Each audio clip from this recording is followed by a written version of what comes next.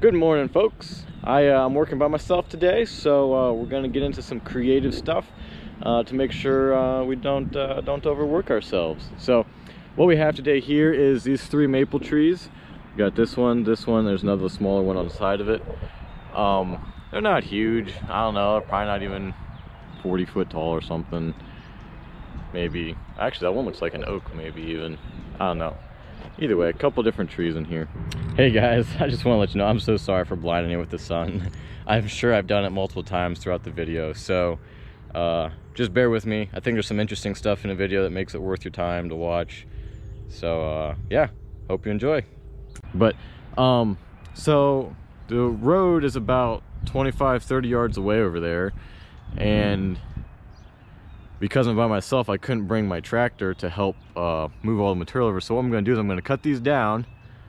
Um, and then I've got a block on this big oak tree over here and the rope stretched out.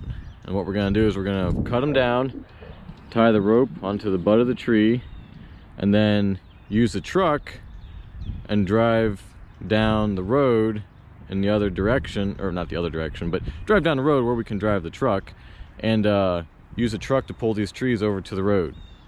So I'm thinking it's gonna work out pretty good. I'm thinking it's definitely gonna save me a lot of trips back and forth because I don't know if these trees are, you know, somewhere between 12 and 16 inches in diameter. That's a lot of walking I don't want to do.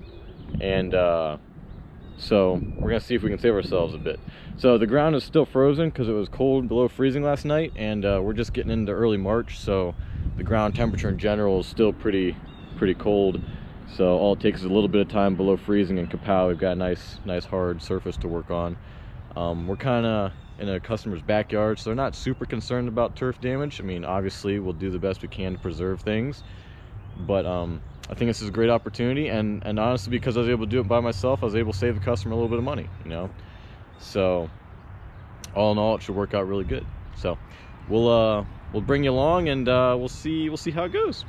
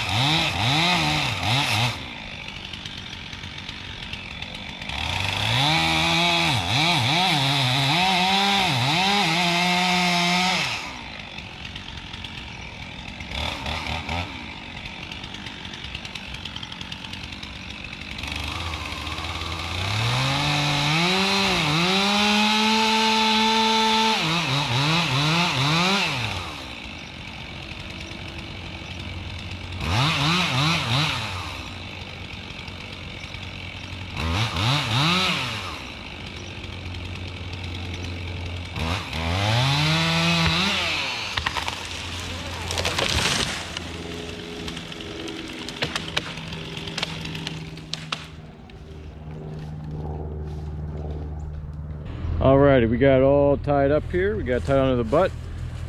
We got the rope running all the way through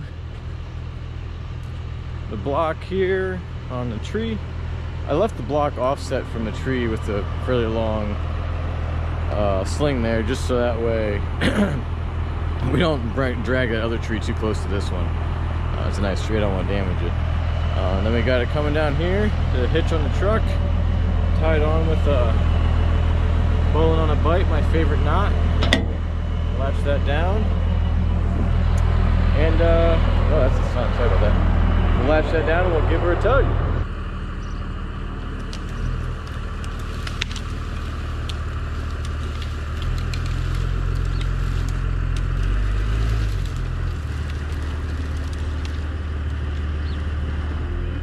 Alrighty, so it swung out of the brush there, the, the underbrush there, kind of nice now we're here but i saw from the truck that it's gonna just start plowing ground here if we're not careful. So i'm probably gonna reposition rope a little closer to the butt and i might might make a cut on there just to make it a little more more yard friendly. It does it i mean the butt's halfway there already. Doesn't have far to go but just want to keep from tearing things up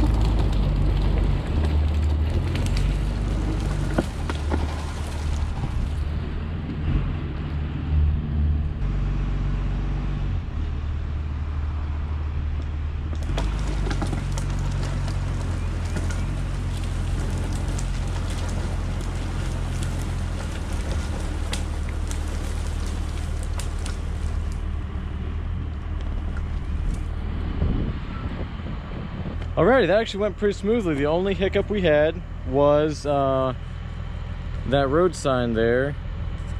Um, right there. He uh, he got in the way of the rope. so I was just a little, little miss, uh, I just didn't see that when I got started. So we had to stop and move the rope to the other side of the sign and we could continue pulling. But uh, that cut I made on there really helped out the yard.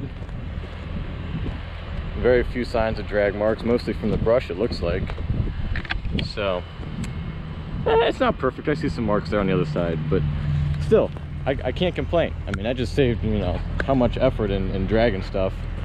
And uh, that'll save a lot of effort. So I think what I'm gonna do now is we're still, you know, a couple five yards or something from the road. So what I'm probably gonna do now is come back here, hook up the truck really close to it and just drag it straight towards the road and maybe down the road just a wee bit, just to get things, get things closer. So, uh, yeah, we'll go ahead and go do that All right, I got you on the truck this time, so hoping you'll be able to see what's going on. So I'm just hoping for the tree just come around closer to the road here. Give it a try.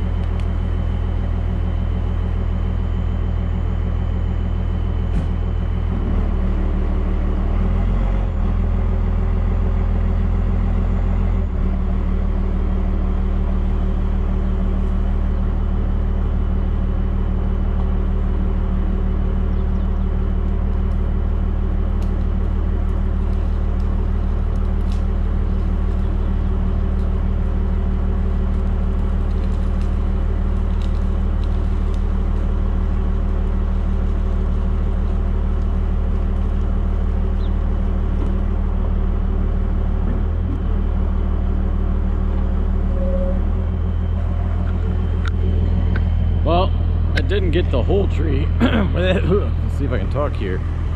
It uh, it didn't get the butt any closer to the road, but I'd say the majority of the mass of the tree is indeed closer. So um, we'll settle for that. Um, I was hoping to kind of get two trees over here, you know, at one time, so I didn't have to do all this fiddling around with moving the truck back and forth in front of the chipper. Um, but it looks like that's not going to work out, which is okay. You know, that's can't win them all. Um, so I'll go ahead and, and, put the truck in front of chipper and uh, cut this up and we'll get it chipped up and then we'll repeat the process um, with that oak tree, which is just a wee bit bigger. So um, we'll see. We might even kind of tip that this direction and might might help us a little bit in, uh, in how close we can get to the road overall. So.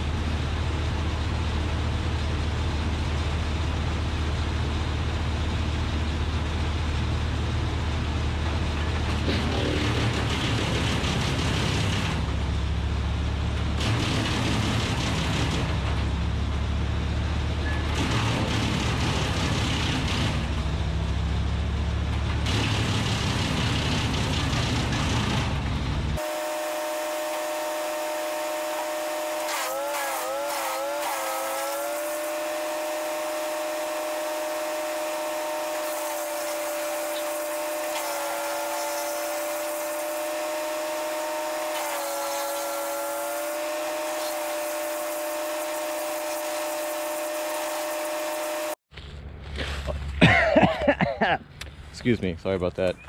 Uh, don't have COVID, pretty sure don't have COVID. So, um, I got some, I'm trying something new here, something I never tried before, but uh, it's kind of unusual, but it's an unusual situation. Uh, let me wipe this lens off. There, that might be better. So, I thought I'd show it to you. What we got here is, this is, uh, I believe, a red oak, young red oak here. And then we got what I presume to be another Norway maple. Uh, just like that first one was, right? Right there. So, Norway maples are not good for hinge wood. Uh, they're pretty, pretty brittle. So, this thing's got a lot of lean this way. And if you look just on the other side of where we're felling these trees here, we have some nice blueberry bushes right over here that we absolutely can't hit. And so, uh, consequently, I really don't feel like I can depend on the hinge wood of the Norway maple to reliably keep it out of those blueberries because those blueberries are right over here and it's leaning pretty hard that way. Uh, and phototropism causes it to put all of its limbs on this side. You know, everything, everything is everything is that way. You know, everything. There's nothing that's that way. So, uh, red oak on the other hand has great hinge wood, and uh, it's standing pretty fair. It's got a little more limb weight, you know, in the undesirable direction, but uh, we've got plenty of room to tip it over, and I'd like to land it right about where its shadow lays right now. But uh, what I'm going to do is I'm going to cripple the Norway maple and uh, get a uh, crippled the red oak as well. And I've got them tied together. Where is that rope? I can't see it on the camera. It's up in there somewhere. I hope you can see it. But anyhow, got them tied together. And uh, I'm hoping to use the reliability of the red oak hingewood to bring the Norway maple down where it's where uh, where it needs to go a little more reliably. So I'll uh, I'll put you guys up here somewhere close. Ooh, maybe maybe I will stick you right on the tree, and we can both see. It'd be interesting to see how much this, you know, the red oak actually helps the uh, the maple here. So I'm gonna make a little spot to stick the camera, and we'll uh, we'll put you on the tree.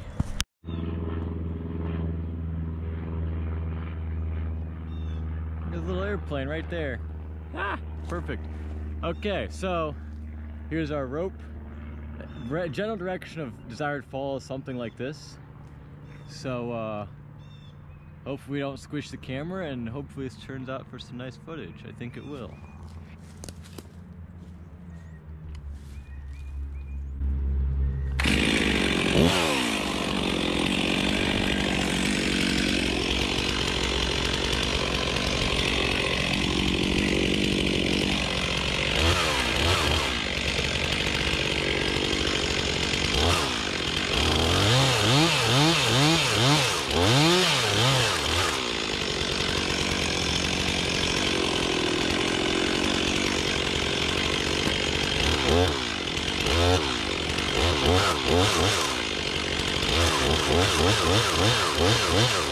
It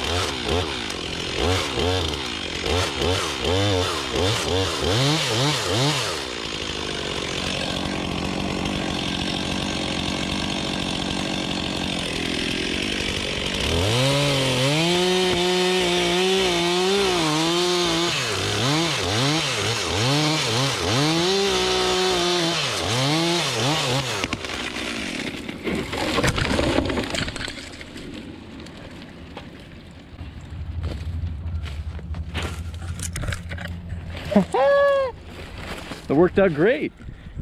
I'm eager to see what that looked like. I guess I'll get to see uh, in the edit, but yeah. Looks like we missed the blueberries by just enough. Let's see over here. Yeah, sure enough. Just perfect.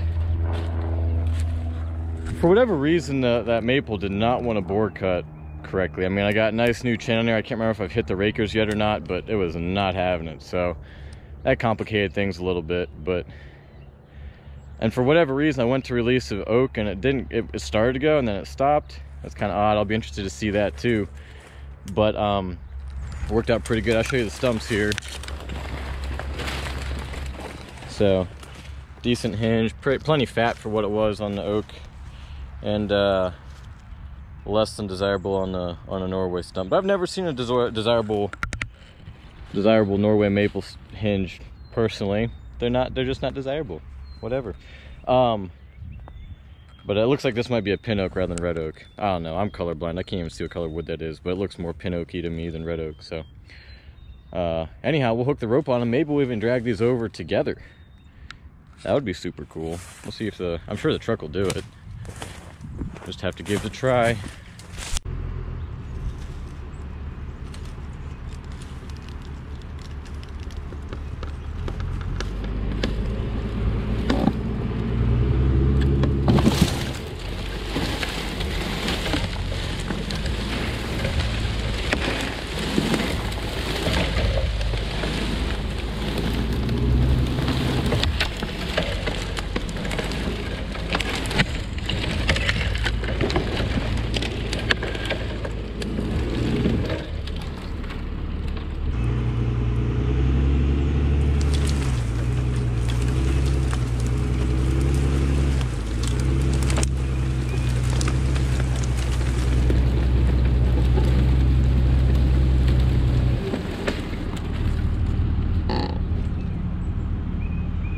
So we got up here to our to our block. Uh, you rode along for that experience, but we're still again we're still too far. Well, farther than I want to go from the street. I think we can get a little bit closer because there's just a lot of ground to cover if I'm going to drag all that by hand. So what I'm going to do here is I'm going to take this rope. I'm going to tie it on somewhere up here and see if we can't get this tree a little bit farther, uh, a little bit closer to the street. Um, I'll have to keep a good eye on it in the mirror because I do not want to skin up this nice, nice pin oak here. It's a beautiful tree. We want to keep it nice. We're getting, you know, it's early March. You know, oak wilt pruning season is about over. I mean, not that there would ever be a reason to allow, you know, something get marked up on a nice tree like that, but it's definitely not good now because dangerous times are upon us. All right, alrighty, this is how close we end up getting the tree to the chipper. That is uh, about perfect in my mind, just enough room to turn branches around and uh, toss them in the machine. So we'll back the truck up and we'll get chipping.